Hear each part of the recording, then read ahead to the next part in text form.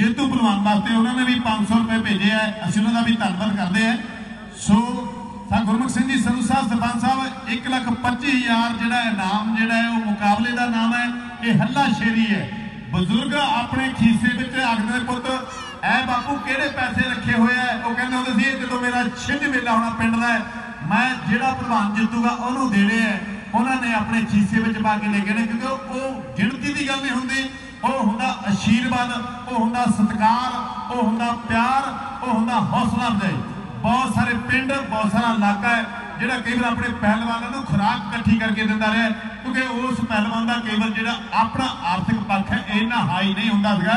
ਉਹਨੂੰ ਸਾਰਾ ਇਲਾਕਾ ਜਿਹੜਾ ਫਿਰ ਜਿਹੜਾ ਮਦਦ ਕਰਦਾ ਸੀਗਾ।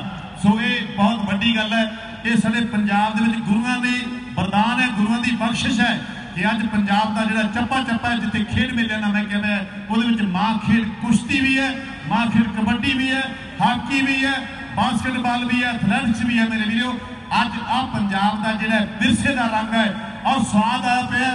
ਪਹਿਲਵਾਨ ਪਿਆਰਾ ਸਿੰਘ ਜੀ, ਸਿਰੇ ਦੇ ਪਹਿਲਵਾਨ ਨੇ। ਕਹਿੰਦੇ ਹੁੰਦੇ, ਸਿਰ ਸਿਰ ਲਹੂ ਵੱਧ ਜਾਂਦਾ ਜਦੋਂ ਇਹੋ ਜਿਹੇ ਪਹਿਲਵਾਨਾਂ ਨੂੰ ਆਪਾਂ ਤੱਕਦੇ ਹੀ ਹੈ। ਇਹਨਾਂ ਪਹਿਲਵਾਨਾਂ ਦੇ ਨਾਲ ਲੋਕ ਜਿਹੜੀਆਂ ਸੈਲਫੀਆਂ ਲੈਂਦੇ ਨੇ, ਫੋਟੋਆਂ ਕਰਾਉਂਦੇ ਨੇ। ਦੇਖੋ, ਦੋਨੋਂ ਪਹਿਲਵਾਨ ਹੱਥਾਂ ਮੁਖੜਦੇ ਹੱਥਾਂ ਕਬੂਲਾ